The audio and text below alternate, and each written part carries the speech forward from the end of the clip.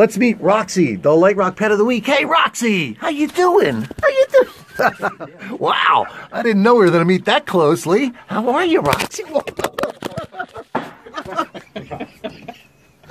That's the first time a dog's ever knocked a camera right out of my hand before.